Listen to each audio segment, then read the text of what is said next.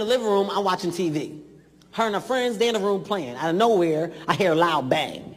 Bang! Little girl start crying. Ah! Ah! I come in the room, right? All the girls are standing around her. They all standing around her. One girl's on her knee looking at her face to face. This would almost made me laugh. When I came in the room, the girl looked at me. She's like, mm, mm, mm. but I can't laugh because I'm in daddy mode. I got to figure out what happened. So I go to my daughter. It's her room. She's responsible. I said, Heaven, come here. Come here. It's your room. You're responsible. What happened? Daddy! Daddy! She said, we got monsters, daddy. There's a bunch of monsters in here. The prince came out, told us to get in the castle. The castle was at the top of the bunk bed. When we got up there, it was too many people in the castle. So, somebody had to go. We took a vote, she lost, I kicked her off. Wait, what?